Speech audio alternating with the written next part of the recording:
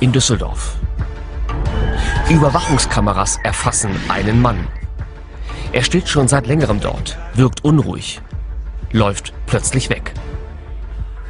Das System erkennt ungewöhnliches Verhalten. Die Kamera verfolgt den Mann.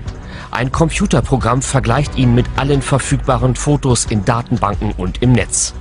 Er wird identifiziert, sein Handy angezapft. Er schreibt eine SMS. Das System schlägt Alarm. Drohnen, kleine unbemannte Flugobjekte steigen auf, um die Verfolgung aufzunehmen. Kein Ausschnitt aus einem Science-Fiction-Film. So ein von uns nachgestelltes Überwachungsszenario wird derzeit für die Anwendung vorbereitet. Die EU hat dafür bereits 11 Millionen Euro zur Verfügung gestellt. Ich bin davon überzeugt, ein solches System kann nach unserem Rechtsstandard in Deutschland nicht eingesetzt werden. Niemand hat die Absicht, eine Mauer zu errichten. Und dennoch, das Projekt läuft weiter, im Verborgenen. Mit INDECT, so heißt das Forschungsprojekt, erhoffen sich die Verantwortlichen eine ganz neue Dimension der Verbrechensbekämpfung. Die Staatsmacht greift zu. INDECT ist aber noch mehr. Das Projekt will Verbrechen verhindern, sogar bevor sie begangen werden.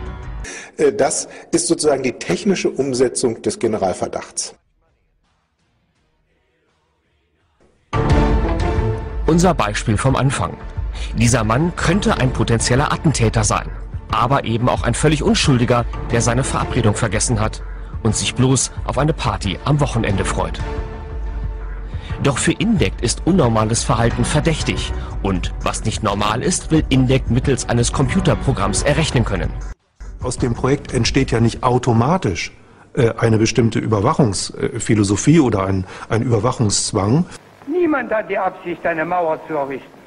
Die Widerstände gegen die Drohnenüberwachung und die Kritik der Datenschützer halten die Projektverantwortlichen langfristig für überwindbar.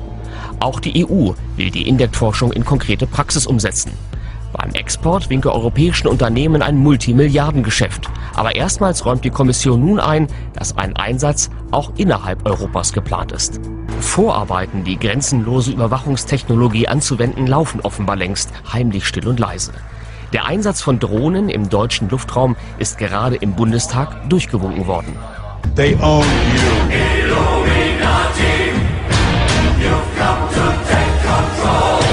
You can take my heartbeat, but you can break my soul. We free. Well-educated people capable of critical thinking. They're not interested in that. That doesn't help them. Illuminati.